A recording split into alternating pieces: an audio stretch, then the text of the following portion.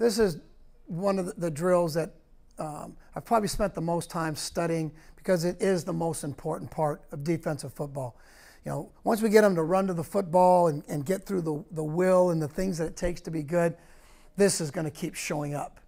Who can tackle and who can't tackle is the difference between good and really poor, good, and great defenses. Um, so I put together a lot of ideas here, and this is probably the one that I've broken down the most in terms of trying to find the magic of it because I've heard tackling taught so many different ways.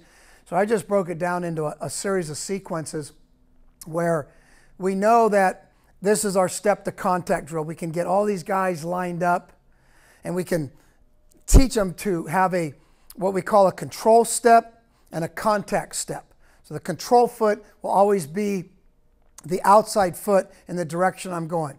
Tackling is almost 100% at some kind of angle. It's very seldom do you make a tackle in a straight line.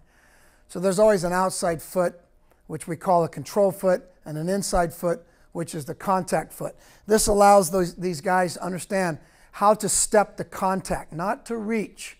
Same foot, same shoulder. That's what gives you the power. Step the contact.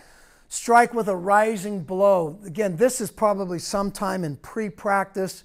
Uh, very first day I installed it.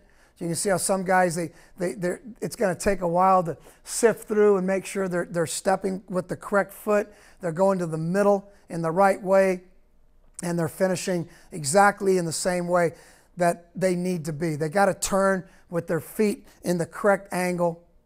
And it's funny, when I change direction, how quickly sometimes they do it wrong. This is the fit we want right here.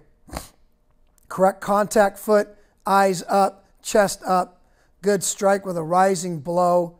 That's fundamental football. No one's getting hurt. There are no concussions. We don't teach to ever tackle with our heads ever. I never have in 30 something years. But this is a really good fundamental drill for any level of football. I don't care if it's the NFL.